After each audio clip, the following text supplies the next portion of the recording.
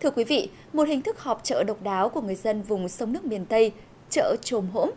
Tên gọi chợ trồm hỗn có lẽ là xuất phát từ chuyện cả người bán lẫn người mua đều ngồi xổm mà giao dịch. Chợ không có kệ sạp, không có bàn ghế, nếu có thì cũng chỉ là ghế cóc. Ở những chợ như thế này thì bà con chủ yếu là bán những mặt hàng cây nhà lá vườn. Và đây là một khu chợ trồm hỗn như vậy ở thành phố Vị Thanh, tỉnh Hậu Giang.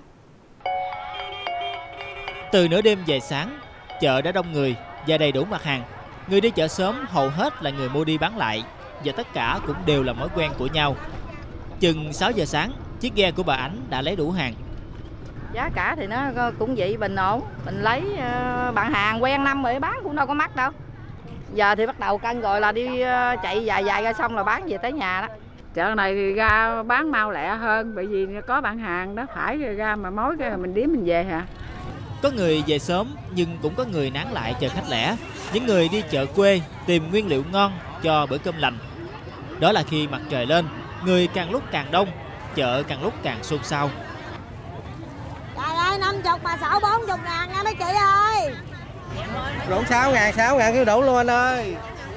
Tới chợ này mua mau lắm. Mà chợ này phải rẻ anh ơi. Cái gì rẻ là bán mau à. ủng hộ những người trong vườn thứ nhất thứ hai nữa làm ngon. Đi chợ này chợ, chợ quê này đi quen rồi. Siêu thị có tiền mới đi được chứ không tệ sao đây siêu thị ra đây mua triệu rồi được. Chứ không siêu thị mua triệu cũng được